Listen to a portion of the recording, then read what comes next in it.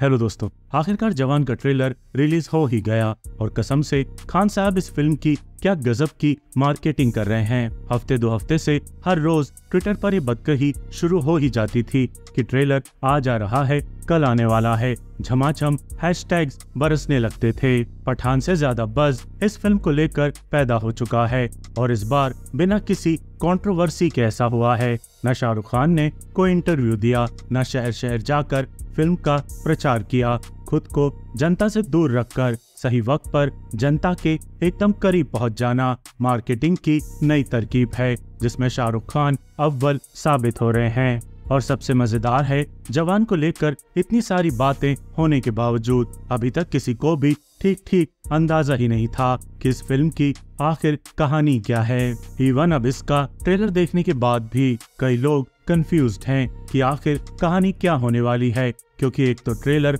भयंकर ही तेज गति से भागता है और ऊपर से शाहरुख खान के इतने सारे रूप दिख रहे हैं, इतने सारे गेटअप दिख रहे हैं कि किसी का भी कंफ्यूज होना लाजमी है।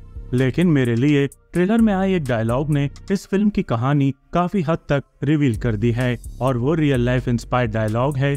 बेटे को हाथ लगाने से पहले बाप से बात कर, जो कि ट्रेलर के आखिर में आता है और बैकग्राउंड में क्लेवरली बचता है। मासी मासी मासी। तो इस सीन से दो बातें क्लियर हैं। एक तो एक गजब की मास फ़िल्म होने वाली है के जी एफ़ दो, गदर दो जैसी ओवर द टॉप फ़िल्म जिसमें ज़्यादा बुद्धि लगाने का कोई मतलब नहीं होगा। बस हमें एंटरटेनमेंट की भूख को तृप्त करना होगा। दूसरी बात कि बाप और बेटे की बात करते ही ये क्लियर हो जाता है कि फ़िल्म में शाहरुख खान के डबल रोल हैं और इस इंफॉर्मेशन के साथ ट्रेलर दोबारा देखने पर समझ आ जाता है कि हाँ ये पिक्चर अमिताभ बच्चन की आखिरी रास्ता जैसी ही कहानी दिखाने वाली है। यानी कि बाप बने शाहरुख के साथ, जो कि आर्मी में जवान होते हैं। उनके साथ जवानी के दिनों में कुछ गलत होता है, विजय सेतुपति के द्वारा, और बाद में चलकर वो उसका बदला लेते हैं। तब जब वे खुद उम्रदराज होने लगते हैं, और उनका हम शक्ल बेटा पुलिस में होता है। एकदम आखिरी रास्ता की कहानी। तो इन जानकारियों के साथ अगर आप जवान का ट्रेलर फिर से देखेंगे तो पता चलता है कि पिक्चर ने अपनी लगभग पूरी ही कहानी ट्रेलर में बता दी है। और जो मिस्ट्री फ़र्स्ट लुक और प्रीव्यू ने बनाए रखी थी, वो काफ़ी हद तक खत्म हो चुकी है। यानी कि इससे बेहतर होता कि ट्रेलर आता ही नहीं और उसकी जगह प्रीव्यू की ही तरह एक मोन्टाज हमें दिखा दिया जाता, जिससे क्यूरोसिटी चरम पर पहुँच जाती, लेकिन कोई नहीं। एटली का डायरेक्शन, ये दावा तो कर ही रहा है कि एटीज की एक रिवेंज स्टोरी को वे कंटेम्प्ररी और स्टाइलिश तरीके से कहेंगे, और ट्रेलर के शानदार विजुअल्स भी ये बताने के लिए काफ़ी हैं कि इस मास फ़िल्म को इंटरेस्टिंग बनाने के लिए काफ़ी सारी इनोवेटिव विजुअल स्टोरी टेलिंग का इस्तेमाल किया जाने वाला है।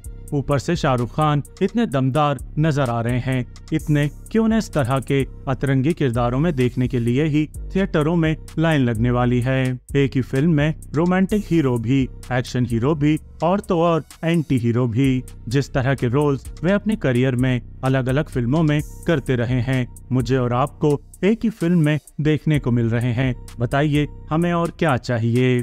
बाकी विजय सेतुपति भी किलर लग रहे हैं और विक्रम में जिस तरह उन्होंने नेगेटिव रोल को धांसू अंदाज में प्ले किया था, उसके बाद तो जवान में उनकी खतरनाक एक्टिंग देखने को जी काफ़ी मचल रहा है। अगर विलेन सॉलिड हो तो हीरो की हीरोगिरी वैसे भी काफ़ी निखर जाती है। अनिरुद्ध के गानों की जहाँ तक बात है, वो अभी तक कोई खास असर तो नहीं छोड़ पाए हैं, लेकिन उनका बीजीएम एकदम धांसू लग रहा है। वैसे भी उनकी फ़िल्मों के बैकग्राउंड स्कोर अलग ही लेवल के होते हैं, और जवान में भी हमें ये यूनिकनेस सुनाई दे रही है।